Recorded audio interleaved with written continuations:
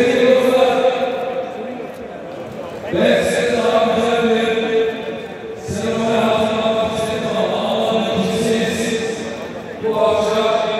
bu şekilde sıkışık sıkışık bir halde onu yapacağız.